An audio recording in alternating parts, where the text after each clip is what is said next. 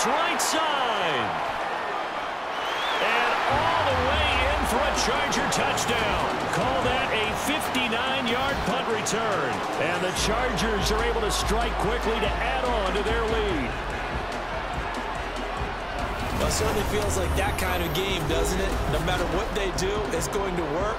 That might be the absolute crusher right there. A punt return for a touchdown. Feels like there's been a lot of crushers in this game. This lead just gets bigger.